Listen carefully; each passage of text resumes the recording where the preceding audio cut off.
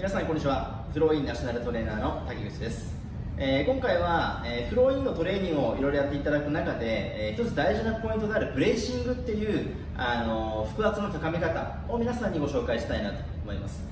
え、安全にそして効率的にトレーニングをしていく上でとても重要なポイントになりますのでぜひチャレンジをしてみてください、え、それではブレッシングの方法について、え、ご紹介していきたいと思います、えお腹周りのところにこう手を添えていきたいと思います。ちょうど肋骨も腰骨もないところに手を添えていただいて、え内側にぎゅーっと絞り込むようにですね手で押していきましょう。えそれに対して対抗するようにウエスト周りお腹の力で横に手を押し返していきましょう。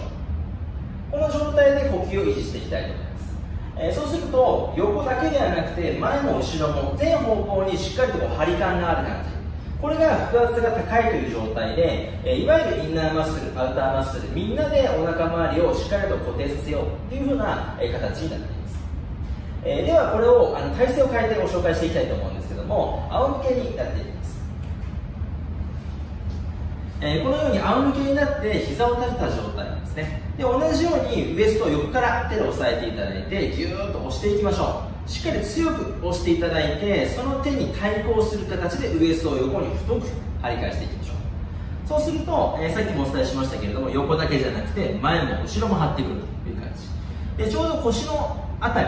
りに関して言うと、え、腰とマットの間にこうスペースがないような状態ですね。ちょうど太いウエストになっていますんで、えー、空きスペースはないよというのが正しい状態になります。でこれでいい呼吸ができているかですね。じゃあ今度また姿勢を変えていきたいと思います。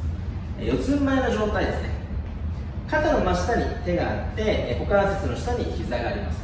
で頭からお尻までをしっかりと一直線にキープした状態でえウエストを太くしていきたいと思います、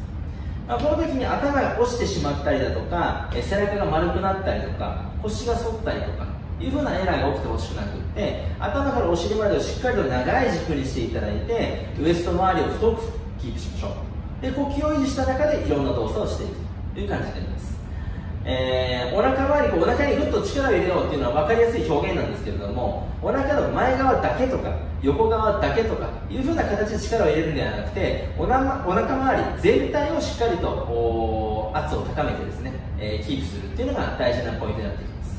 えあらゆる種目のバリエーションにおいてもこのお腹周りを太くしていただいて腹圧を高めるっていうのは大事なポイントになってきますのでしっかりと思い出していただきながら、え、いろんな種目にチャレンジをしてみてください。